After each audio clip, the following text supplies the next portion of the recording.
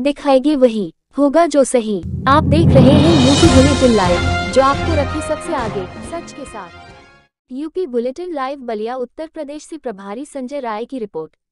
पचहत्तर वर्षीय वृद्ध के शव मिलने से मचा हड़कंप। खबर बलिया जनपद के रेवती थाना क्षेत्र की है, जहाँ रेवती कस्बे के वार्ड संख्या दस निवासी, श्रीकांत राय उम्र पचहत्तर वर्ष, पुत्र स्वर्गीय रामचंद्र राय, कस्बे से ही कुछ दूर छपरा सारिक अपने खेत में मंगलवार की सुबह शौच करने के लिए गए थे कि अचानक उनकी निधन हो गई। घटना की सूचना पर पहुँचे परिजनों सहित आसपास के इलाकों के लोग मौके पर पहुँच गए।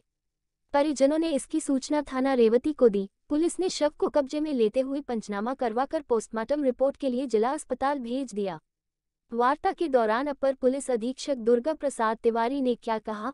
आइए सुनाते हैं उनकी ज़ुबान। रेवती में क्या घटना हुई सर? आज सुबह डायल वन वन टू के माध्यम से सूचना प्राप्त हुई है कि सारिक छपरा नामक गाँव में एक पचहत्तर वर्षीय वृद्ध व्यक्ति अपने डेरे के बगल में एक खेत में मृत पाए गए हैं। उक्त सूचना पर तत्काल पुलिस, अधिकारीगण क्राइम ब्रांच की टीम और फोरेंसिक की टीम मौके पर पहुंचकर छानबीन की। छानबीन के क्रम में यह पाया गया है कि जो मृतक हैं उनके सर में चोट लगी हुई है पीछे।